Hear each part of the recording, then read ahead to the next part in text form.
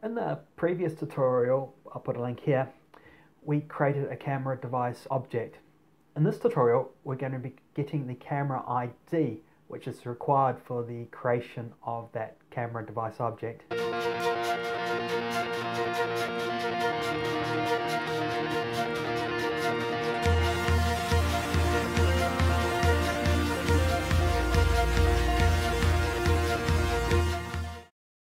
Welcome to Mobile Application Tutorials. My name's Nigel. Okay, so we're going to get the camera ID. The camera ID represents a ca particular camera on your device. So modern cameras can have rear-facing and front-facing cameras. So in theory, they they have the camera ID for each one. Okay, let's make a start. First thing I'm going to do is create a string member, probably here, that represents the camera ID. It's a string. I'll just call it m camera ID. Now I need to create a new method. Oh, you can create that anywhere. I'm going to call the method setup camera. So setup camera, as well as getting the camera ID, I'm going to be able to, uh, I'm going to need to do another a number of configurations for that, but just for this particular tutorial, we're going to get the camera ID. So I'll call this setup camera.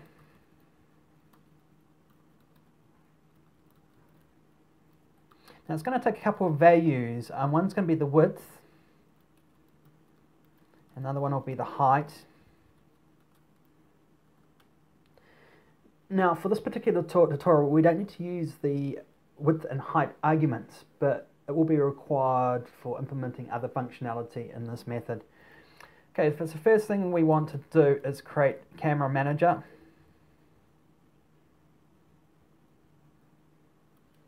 For a second I forgot to spell camera. It's not good for my...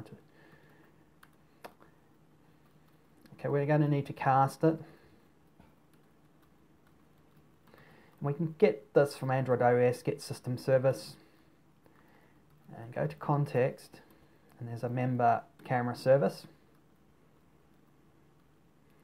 Okay, once we've got the camera camera manager um, and a camera manager object, we can then get a list of the camera IDs. This camera, uh, Nexus 5X, will have a couple. It's got two cameras, front facing and rear facing. So I, I'm going to traverse through them. I want the rear facing camera for this video camera application. So I'll put string for the camera IDs we're going to traverse through. And then we call get ca camera manager.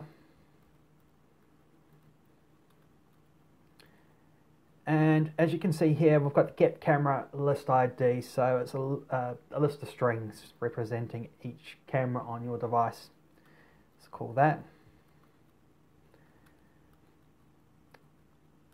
Okay, we're going to need to put a try-catch loop around it in case anything goes wrong because we are making a call into the camera device itself. That's done, so camera exception in case anything goes wrong. Okay, what I want to do, now I've got a camera ID. For each ID, we can get the characteristics of that particular camera and that's represented by the camera characteristics. So let's get that camera correct characteristics. It's actually called camera characteristics. And I'll create a member called camera characteristics. And for the creation of it, we will call, it'll be camera manager again.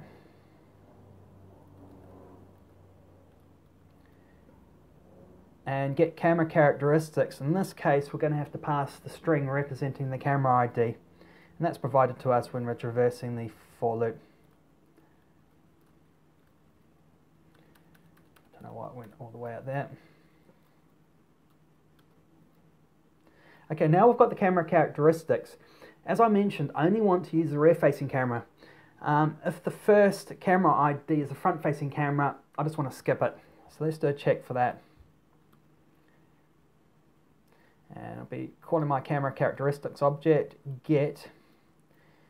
And camera characteristics has got a member for lens facing.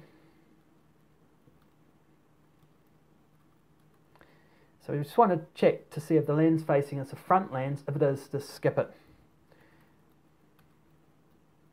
So lens facing front, just continue, in other words, skip it.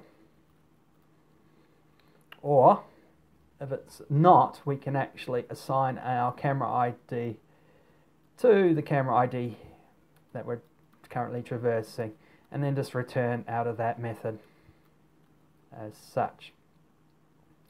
Okay, that's it. Um, now that we've created the setup camera method, I can now call it from a couple of places once our texture view has been created.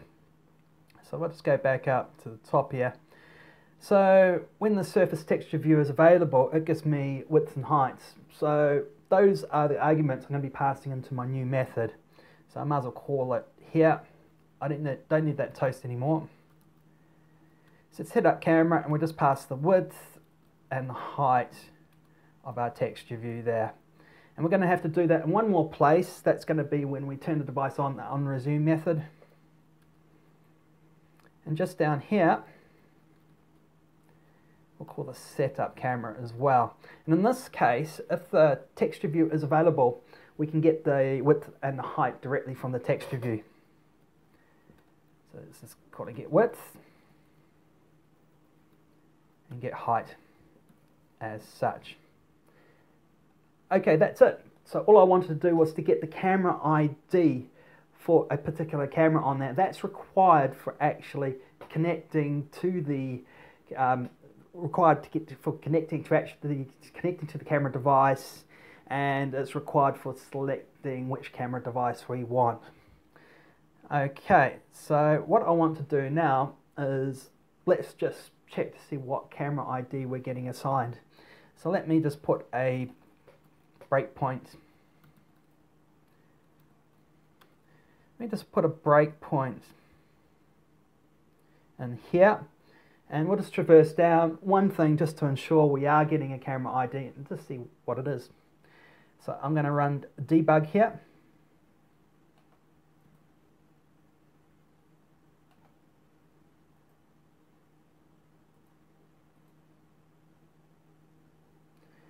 Okay, device is now turned on. Okay, let's step through that.